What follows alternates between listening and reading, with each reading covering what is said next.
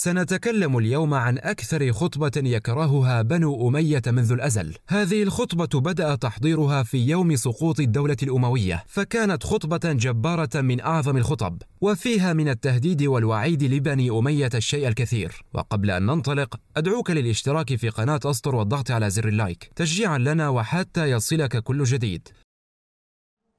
استعدوا فأنا السفاح! أنا السفاح المبيح! الثائر المبير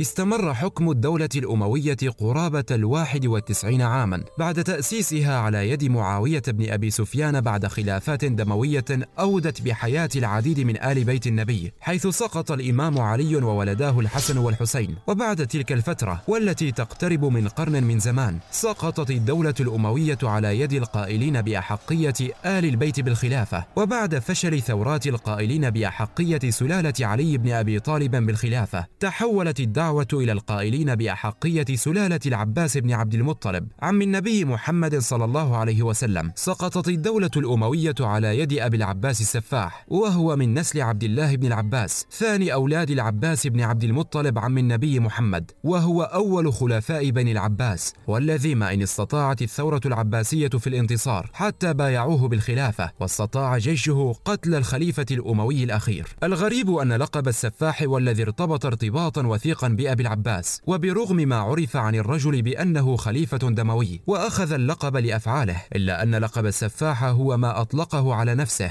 ولكن ما هي المناسبة؟ وقف السفاح على المنبر وخطب خطبة شرسة. هذه الخطبة يكرهها بنو أمية حتى يومنا هذا. فوقف وقال الحمد لله الذي جعل الإسلام لنفسه دينه وكرمه وشرفه وعظمه واختاره لنا وأيده بنا وجعلنا أهله وكهفه والقوام به والذابين عنه والناصرين له وألزمنا كلمة التقوى وجعلنا أحق بها وأهلها وخصنا برحم رسول الله صلى الله عليه وسلم وقرابته ووضعنا بالإسلام وأهله في الموضع الرفيع وأنزل بذلك على أهل الإسلام كتابا يتلى فقال تعالى إنما يريد الله ليذهب عنكم الرجس أهل البيت ويطهركم تطهيرا. وقال لا أسألكم عليه أجرا إلا المودة في القربة وأنذر عشيرتك الأقربين. فأعلمهم عز وجل بفضلنا وأوجب عليهم حقنا ومودتنا وأجزل من الفيء والغنيمة نصيبنا تكرمة لنا وتفضلة علينا. والله ذو الفضل العظيم. وزعم الجهال والضلال أن غيرنا أحق بالرياسة والسياسة والخلافة منا. فشاهت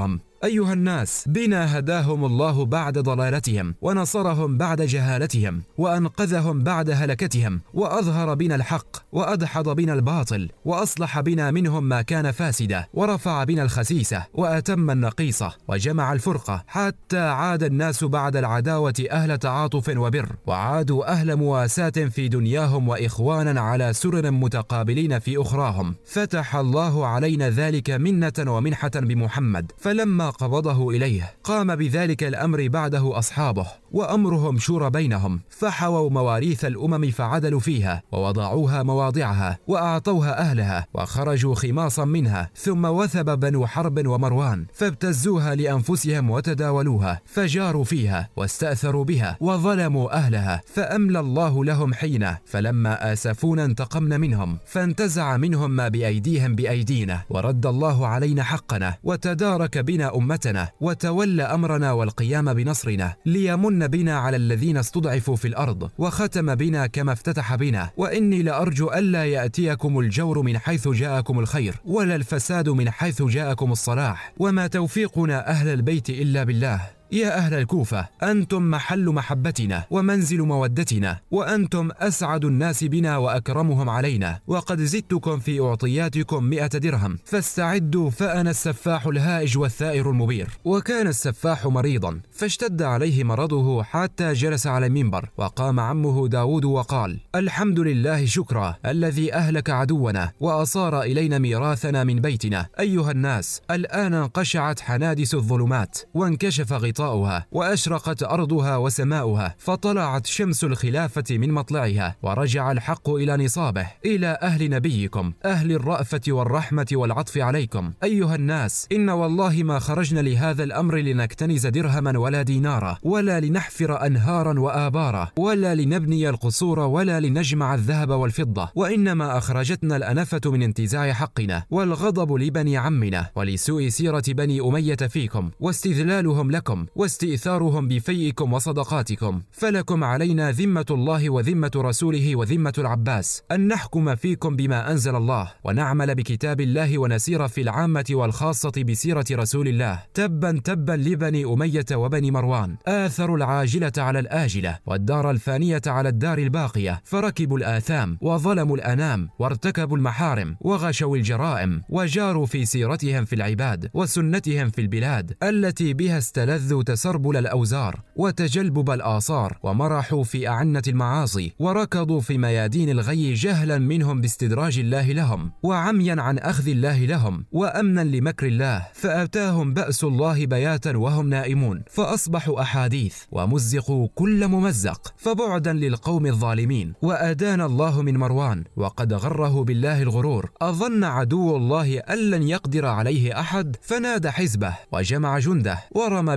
بكتائبه فوجد أمامه ووراءه وعن يمينه وعن شماله ومن فوقه ومن تحته من مكر الله وبأسه ونقمته وجد ما أمات باطله ومحق ضلالته وأحل دائرة السوء به وأحاطت به خطيئته ورد إلينا حقنا. أيها الناس لقد أبدلكم الله بمروان الأموي عدو الرحمن وخليفة الشيطان المتبع للسفلة الذين يفسدون في الأرض ولا يصلحون. أبدلكم به بالمتوكل على الله والمقتدي بالأبرار الأخيار الذين أصلحوا الأرض بعد فسادها أصلحها بمعالم الهدى ومناهج التقى ثم عج الناس للسفاح بالدعاء وأخذت ألسنتهم تلهج له بالدعاء عند هذه الكلمة ثم قال واعلموا يا أهل الكوفة أنه لم يصعد منبركم هذا خليفة بعد رسول الله صلى الله عليه وسلم إلا أمير المؤمنين علي بن أبي طالب وأمير المؤمنين هذا وأشار بيده إلى السفاح واعلموا أن هذا الأمر فينا ليس بخارج عنا حتى نسلمه إلى عيسى بن مريم أي أنهم سيحكمون إلى نهاية العالم. والحمد لله رب العالمين على ما أبلانا وأولانا. ولقد أبدلكم الله سبحانه وتعالى بمروان بن محمد بهذا الشاب المتكهل المتمهل المقتدي بسلفه الأبرار الصالحين. الذين أصلحوا الأرض بعد فسادها بمعالم التقوى والهدى. الله أكبر. اعلموا يا أهل الكوفة اعلموا أن هذا الأمر فينا ليس بخارج منا حتى نسلمه إلى عيسى ابن مريم عليه السلام.